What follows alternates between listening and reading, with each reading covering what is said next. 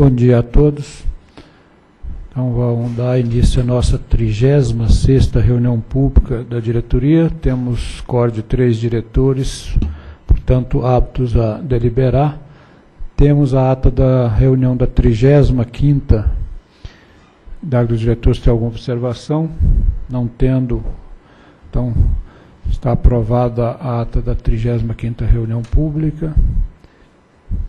Solicito o secretário que anuncie a sequência que vamos deliberar os itens da pauta. Inicialmente informo que os itens 23, 26 e 34 foram retirados de pauta. Informo também a nova ordem, a qual foi aprovada pelo diretor-geral, são dos itens de 1 a 17 e na sequência os itens 19, 21, 24, 32 e 37. Então, de forma que passa a chamar o item de número 1, processo 48.500, 31, 66, 2013, 4.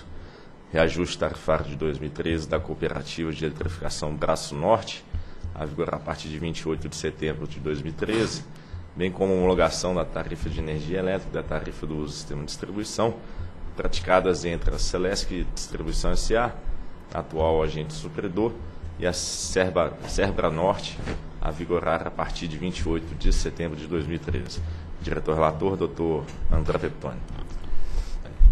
Senhores diretores, como ocorreu um problema na, no, no, envio dos arquivos, então todos os meus votos estão disponibilizados na pasta, não vai ser acessado direto no sistema.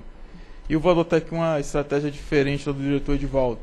Eu tenho, me coube relatar sete reajustes de cooperativas do Estado de Santa Catarina, vou enfrentar aqui um a uma, é, individualmente, e como a Procuradoria já se manifestou, se não, fizer, não tiver objeção, farei um resumo aqui do, do voto. Então vamos voltar, retomar aqui a deliberação da cooperativa de Braço Norte, da, de eletrificação Braço Norte, a Sebra Norte. Então, como havia dito, a, a Sebra Norte está sediada no município de Braço Norte, estado de Santa Catarina, to, atende 14.600 unidades consumidoras e tem uma receita anual de aproximadamente 25 milhões e 850 mil reais. Assinou com a União o contrato de permissão de número 25/2008, que estabeleceu a data de 28 de setembro de 2012 para a primeira revisão tarifária.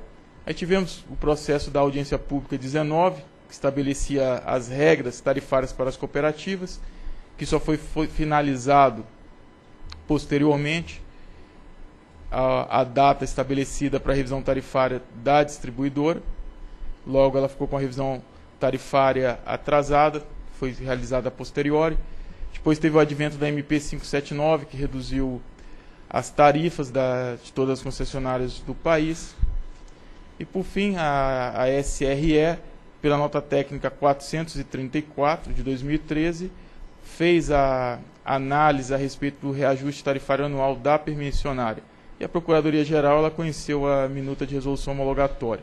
Isso é o que diz respeito ao relato dos fatos. Sobre a fundamentação, temos que a proposta é que a partir de 28 de setembro de 2013 seja aplicado o índice de reajuste tarifário de 21,22% nessa cooperativa. E esse índice ele é composto pelo cálculo econômico de 17,51 e pelo cálculo financeiro de 3,71. A média de efeito para os cooperados é de 24,06%, sendo na alta tensão 34,7% e na baixa tensão de 20,56%. E cabe lembrar aqui, estou na, na figura, no gráfico 1, que está abaixo do parágrafo 12, que o, o, pat, o patamar da tarifa, mesmo com um índice alto, a tarifa que está sendo vai será praticada agora no 2013, 2014, ela, ela ainda é inferior aquele montante que estava sendo praticado no ano de 2011. Isso porque o índice de reajuste tarifário ele incide sobre o último processo tarifário, que foi o da revisão tarifária extraordinária, que reduziu significativamente essas tarifas. E nós temos aqui, vale comentar, os encargos setoriais, que contribuem com 4,55% no, no processo tarifário. A compra de de energia com a relação de 35,17 a participação na receita mas na realidade a participação no IRT é negativa, de menos 0,14. Então a compra de energia está contribuindo negativamente, os encargos setoriais favoravelmente, com 0,32%, e o transporte da energia, exemplo que Edivaldo destacou nos votos deles, devido à questão do desconto, aqui ficou de 15,25%. Esses são os, os principais pontos.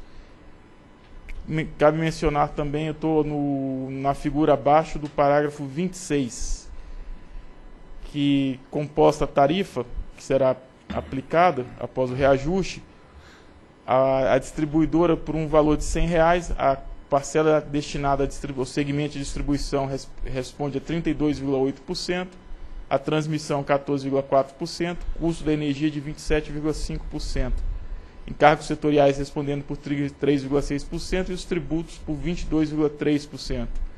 Nessa cooperativa especificamente, o, o custo da energia, que é de 27,25%, perdão, a representatividade da energia na tarifa, ela está inferior à representatividade da, da atividade de distribuição. Geralmente, o, o normal é que seja o contrário. Então, pode-se inferir aqui que a, a, a energia que está sendo adquirida está baixa em relação aos custos da, da, da, empresa, a composição de custos da permissionária. Seriam os principais pontos dignos de nota. Passo a leitura do dispositivo. Diante do exposto do que consta no processo 48.500.003166-2013, dígito 04, voto pela aprovação da resolução homologatória com a minuta anexa, com o objetivo de homologar o índice de reajuste tarifário anual das tarifas da Sebra Norte de 21,22%, a vigorar a partir de 28 de setembro de 2013, que conduz ao efeito médio a ser percebido pelos consumidores de 24,06%, sendo 34,70% para os consumidores de alta tensão e 20,56% para os de baixa tensão. Fixar as tarifas de TUST relativas ao suprimento da Sebra Norte pela suprida Celesc, vigentes no período de 13 e 14, fixar o valor das cotas de CDE e do Proinfa, bem como os níveis de desconto sobre energia e transporte a ser observados nos reajustes tarifários subsequentes, e homologar o valor mensal de recurso da CDE a ser repassado pela Eletrobras à Sebra Norte, de modo a custear os descontos retirados da estrutura tarifária de R$ 410.545,70. Esse é o valor total. Acredito que o, o, a, a cota mensal é de R$ 15.838,98. É o voto. Em discussão. Em votação. Voto com o relator.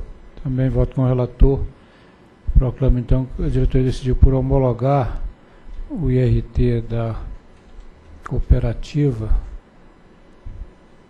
é, no, com um efeito médio a ser percebido pelos consumidores de 24,06%, fixar as tarifas de energia de uso do sistema de distribuição relativa ao suprimento da Sebra Norte pela Celesc, vigentes em, entre 28 de setembro de 2013 e 27 de setembro de 2014, fixar o valor da cota anuais da CDE e Proinfa, bem como os níveis de desconto sobre energia e transporte a ser observado nos reajustes tarifários subsequentes, e homologar o valor mensal do recurso da CDE a ser repassado pela Eletrobras à cooperativa.